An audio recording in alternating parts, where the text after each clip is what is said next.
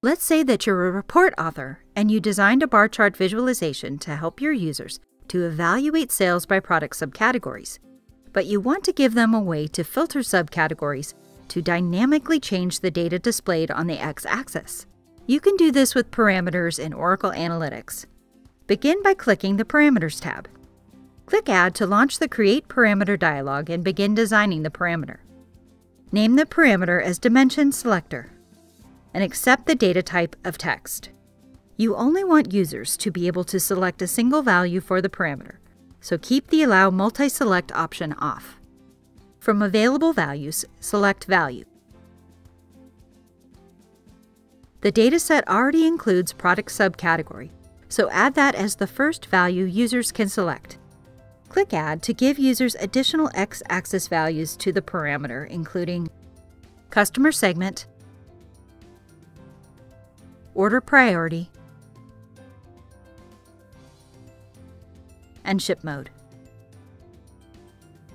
Select the initial value as the first available value, which in this case is product subcategory.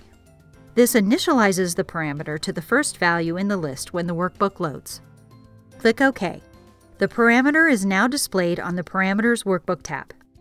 Continue by connecting the parameter to the visualization. Click the Data tab. Right-click My Calculations and select Create Calculation to launch the new calculation dialog. Name it Dimension.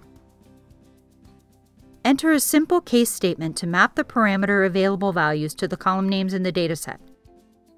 From the Parameters tab, drag and drop the Dimension Selector parameter to the right of case in the expression editor.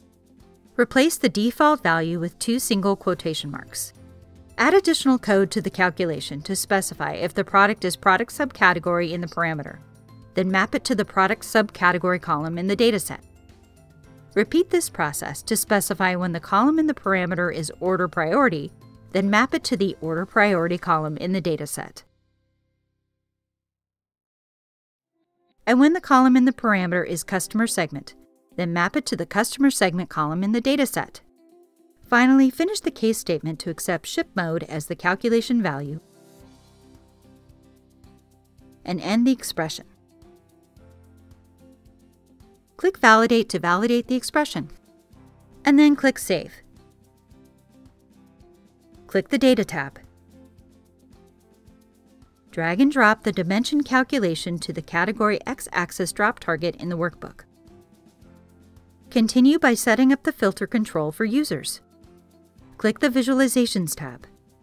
Scroll down and drag and drop dashboard filters to the canvas above the bar chart. Click the Parameters tab and drag and drop Dimension Selector to the Dashboard Filters area on the canvas.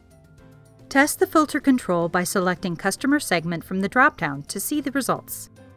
The bar chart now reflects customer segment data in the x-axis of the bar chart. But let's say you want to take the design a little further to display the value name on the x-axis rather than the calculation name.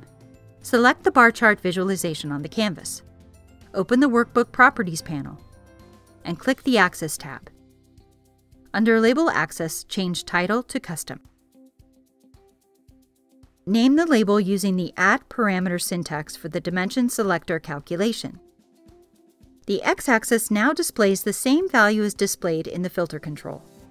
You can also change the title of the visualization based on the selected parameter. Click the General Settings tab. Change Title to Custom, and in Name, use the at parameter syntax for the dimension selector calculation. Test your changes by selecting the Order Priority parameter from the filter bar and the ship mode parameter from the filter bar. The visualization title now displays the same name as the selected parameter. Now you know how to use parameters to dynamically design the workbook experience for your end users. Check us out at docs.oracle.com.